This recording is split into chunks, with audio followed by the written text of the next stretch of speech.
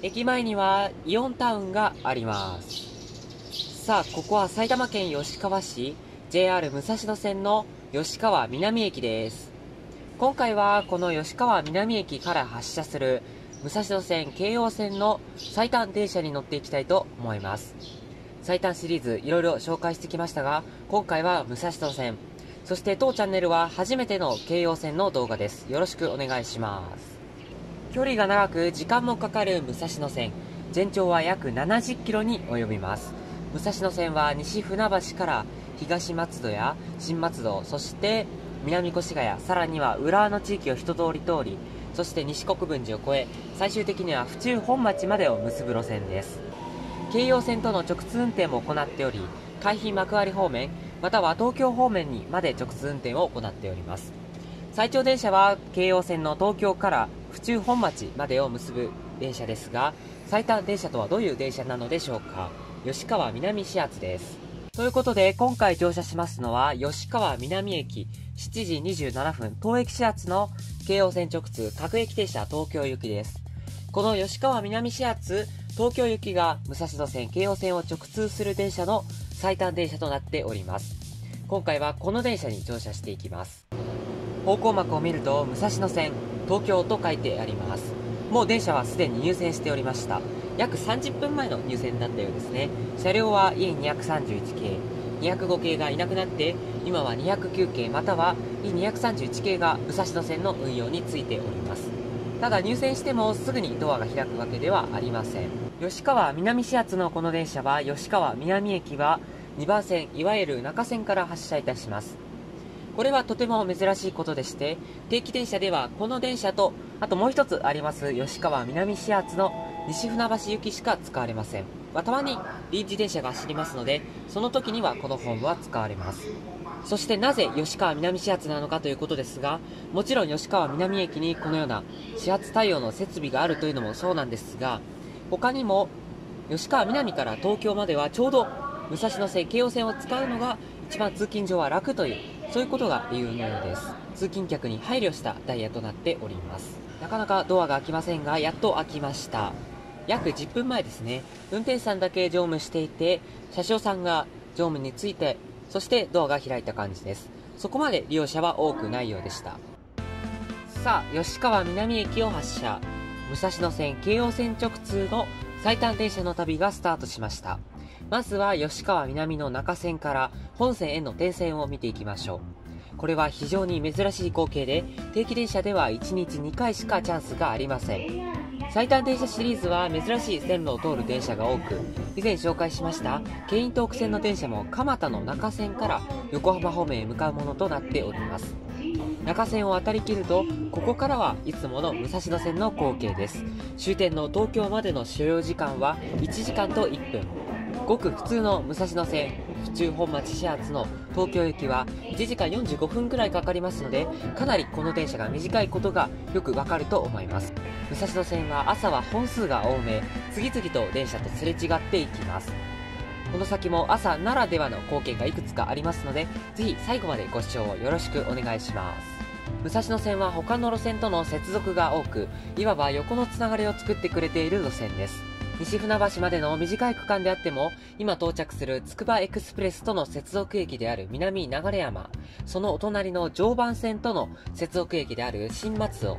そしてこちらは北総線や京成成田スカイアクセス線との接続駅である東松戸と都心に出る必要なしに様々な路線との乗り換えを可能にしてくれています。さてまもなく電車は西船橋駅に到着します。西船橋駅からはこの電車はこのまま京葉線に直通武蔵野線は西船橋までとなっていますが実際はほとんどが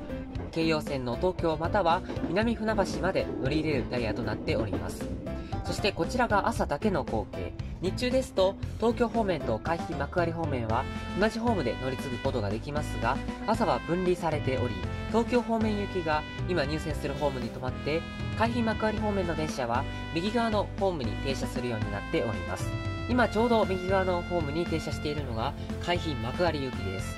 西船橋駅は総武線各駅停車と東西線との乗り換え駅お客さんの多くが入れ替わる駅となっております。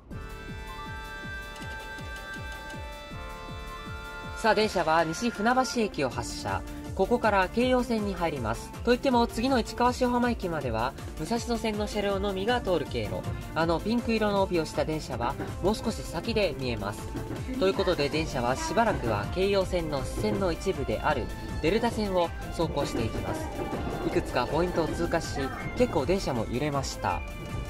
さて、これから走行していく京葉線はほとんどが広角間。埼京線と似たような感じです。高架が中心の路線ですと線形が良いですからスムーズな運行を行うことができます。また踏切による事故もなくなるため電車が遅延する可能性もだいぶ減ります。とても頼もしい京葉線です。奥の方から京葉線のピンク色の電車がやってきました。まもなく電車は京葉線の本線と合流します。左側今電車が走っていたのがまさに京葉線の本線。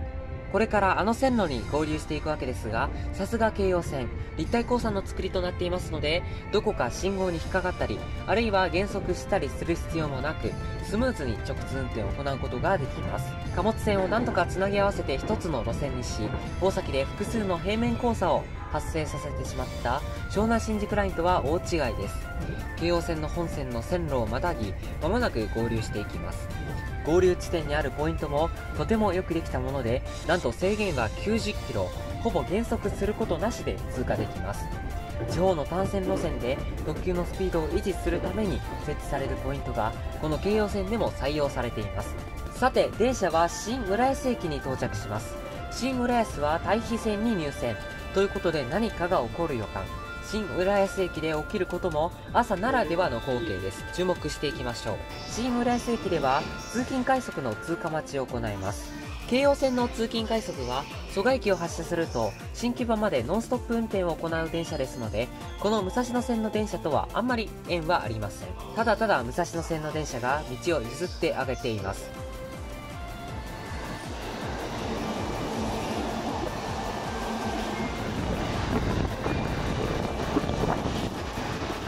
あんまりお客さんは乗っていませんでしたね。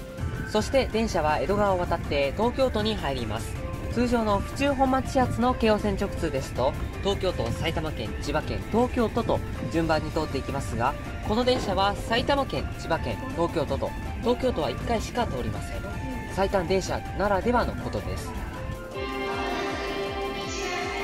電車は近く間に入り発車メロディーの即切りでも有名な越中島駅を越え間もなく終点の東京駅に到着します。吉川南駅から武蔵野線と京葉線の直通電車にしてはかなり短めのたった1時間で東京駅に到着します。武蔵野線は駅間が長く景色もそこまで大きくは変化しませんから長いと感じるものですが今回の最短電車はあんまりそうは感じませんでした。はいお疲れ様でした。東京駅京葉地下ホームに到着です、確かに短かったですね、やっぱり。まあ、ちょっと、武蔵野線の船橋商店あたりはちょっと長いなと感じましたが、京王線は一瞬でした。そして今乗ってきた電車は、たった2分の折り返し時間で今度は府中本町行き、普通の武蔵野線になるそうです。